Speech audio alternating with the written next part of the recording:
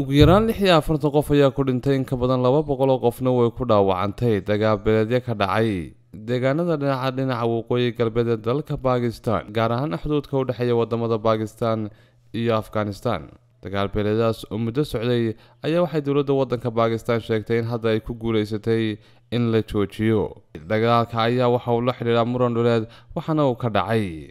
Degmada loo yaqaana kram halkaasoo isku laayeen laba qabiil oo iyagu kala ah sunni iyo shiico. Odayaasha degmada kram iyo hay'adaha ammaanka dalka bakistan oo shir yeeshay maalintii arbacadiiyo toddobaadkan ayaa waxay ku heshiiyeen in xabad joojin lagu dhawaaqo waxaana sarkaal sare u hadlay booliiska dalka afghanistan gaar ahaana qeybta ka howlgasha deegaankaasi dagaalku ka dhacay uu caddeeyey in dagaalkaasi hadda la joojiyey.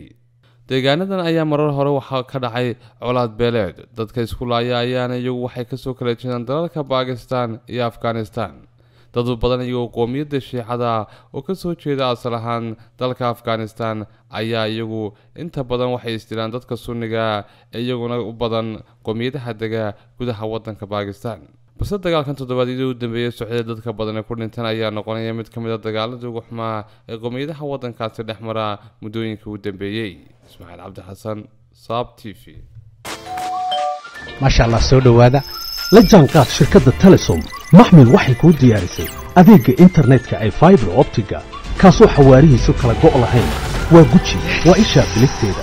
Intuu soo gudlanayo hadalba gam.